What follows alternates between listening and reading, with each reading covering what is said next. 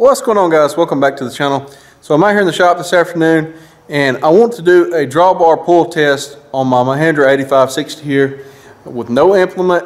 It will be locked in four-wheel drive. It does have a front end loader on it and there is water in the tires.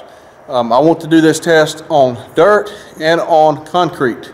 Now obviously being tractor tires probably going to get better results on dirt but we're going to do a test just to find out.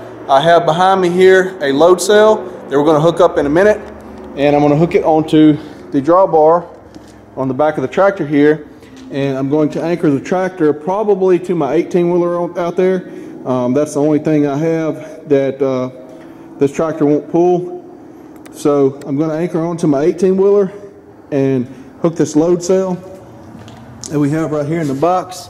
That's the monitor for over there. This is a 20,000 pound uh, load cell I'll put a link in the description if anybody's interested in this.